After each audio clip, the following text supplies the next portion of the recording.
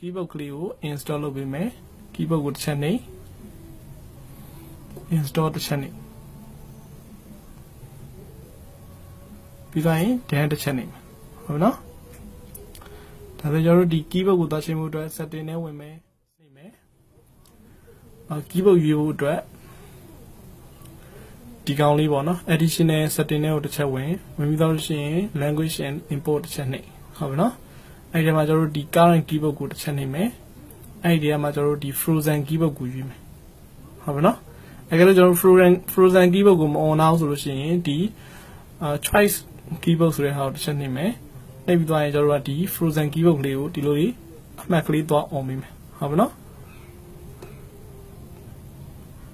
ဒါမှသာလျှင်ကျွန်တော်တို့ကဒီ current keyboard ကိုနှိပ်လိုက်လို့ရှိရင်ကျွန်တော်တို့ဒီ frozen keyboard ဆိုတာကိုရွေးလို့ရရမယ်နော် အဲ့တော့ဒီ current keyboard မှာ frozen keyboard ဝင်သွားပြီဆိုလို့ရှိရင်ဒါရပြီပေါ့နော်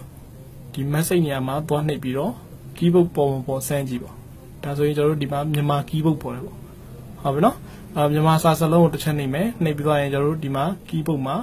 ရိုက်ထည့်ကြည့်မြန်မာစာပေါ်မပေါ်ရိုက်ပေါ့နော်စာရိုက်ခဲ့ကြည့်ဥမာစာတစ်ချောင်းလောက်ပေါ့နော်ဥမာနေကောင်းလားဆိုပြီးရိုက်ထည့်ကြည့်ဒါဆိုလို့ရှိရင်ကျွန်တော်တို့ကဒီမှာ စာကဘယ်လိုဖြစ်နေလဲဆိုတော့ပေါ်တော့ပေါ်တယ်မြန်မာစာမမှန်ဘူးဟုတ်ပြီနော်အဲကျွန်တော်တို့ဒီမြန်မာစာထည့်တဲ့အခါမှာဒီ keyboard မှာမှန်တိုင်းမြန်မာစာရပြီလို့မထင်နဲ့ပေါ့နော်တချို့တွေကအမှတ်မှားကြတယ်ပေါ့နော် keyboard ဆိုတာကျွန်တော်တို့ရိုက်ဖို့အတွက်ပြီးတာတာဒီမြန်မာစာပေါ်ဖို့မပေါ်ဘူးကြတော့ကျွန်တော်တို့မြန်မာစာထည့်တာတက်တက်တော့ပြန်လုပ်ပြရတယ်ဟုတ်ပြီနော်အဲကျွန်တော်ဒီမြန်မာစာတင်မှုအတွက်ဒီ file explorer ထဲမှာ file manager ထဲမှာသူကဒီ TTA မိမြန်မာဆိုတဲ့ဟာလေးပေါ့နော်အာဒါကျွန်တော်ဟိုဆရာတန်းတိုးအောင်ရေးထားတဲ့ဒီ APK file လေးပေါ့နော်အဲ့ကောင်လေးကိုကျွန်တော်တို့ကတစ်ချက်နှိပ်ပြီးမယ်ဟုတ်ပြီနော်ဒါ MIUN7 ကနေပြီးတော့သူကအာ9.2ထိရတယ်လို့ရေးထားတယ်ပေါ့နော်အဲ့အဲ့ version လေးကိုကျွန်တော်တို့ကဒီမှာ install ထပ်နေမှာဟုတ်ပြီနော်အာဒီကောင်လေးကကျွန်တော်တို့ဒီဖုန်းပိတ်သွားလဲဖုန်းဟို restart ချလိုက်လို့ရှိရင်ပေါ့နော် restart ချလို့ပြန်တက်လာလို့ရှိရင်လည်းမြန်မာစာလေးပြန်ရတဲ့ software လေးပေါ့နော်အဒီ software လေးကကောင်းပါတယ်သူက7ကနေပြီးတော့9.2အထိကျွန်တော်တို့မြန်မာစာထည့်လို့ရတယ်ဟုတ်ပြီနော်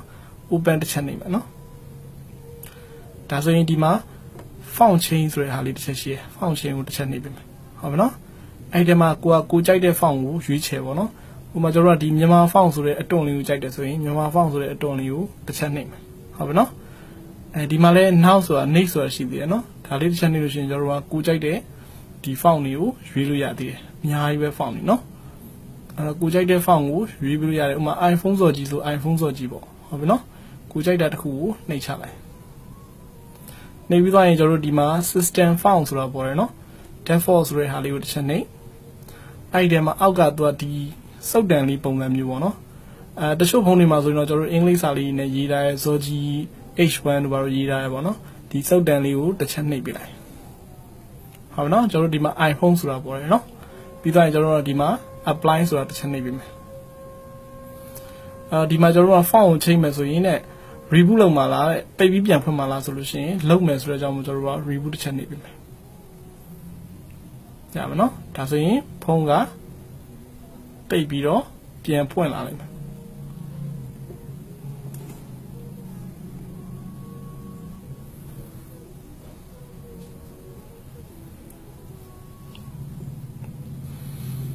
အဲ့တော့ပိတ်ပြီးပြန်ဖွင့်လာတဲ့ဟာကိုတစ်ချက်လောက်စောင့်ကြည့်မယ်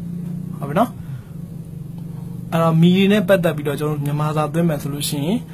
အာဒီ software လေးဒီ APK လေးနဲ့ပဲသွင်းကြတာများတယ်ပေါ့ဟုတ်ပြီနော်အဲ့တော့ကျွန်တော်ဒီမီဒီယိုမြန်မာစာသွင်းတော့မယ်မြန်မာ font သွင်းတော့မယ်ဆိုလို့ရှိရင်ဒီ software APK လေးတစ်ချက်စောင့်နားမယ်ပေါ့ရမယ်နော်အာဒီ software လေးရဲ့အသာချက်ကကျွန်တော်တို့ဒီဖုန်းပိတ်ပြီးတော့ ပြန်ပြီးတော့ပွင့်တဲ့အခါအခုလိုမျိုးပေါ့နော်ပိတ်ပြီးပြန်ပွင့်တဲ့အခါမြန်မာစာကမပြောင်းသွားဘူးပေါ့နော်ဒီပုံစံအတိုင်းပဲပေါ့နော်အရင်ထည့်ထားတဲ့အတိုင်းပဲပြန်ရောက်နေလိမ့်မယ်ပေါ့နော်အာတချို့ APK တွေဆိုလို့ရှိရင်ကျွန်တော်တို့ကဒီဟိုထည့်လိုက်တယ်ပေါ့နော် MIUI version နဲ့မကိုက်ဘူးဆိုလို့ရှိရင်သူကကျွန်တော်တို့ပြန်ပြန်ထည့်ပေးရတာရှိတယ်ပေါ့ရမှာနော်ဒါဆိုလို့ရှိရင်